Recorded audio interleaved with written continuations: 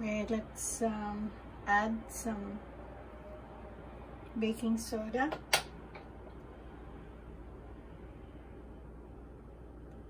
And one teaspoon, one tablespoon of uh,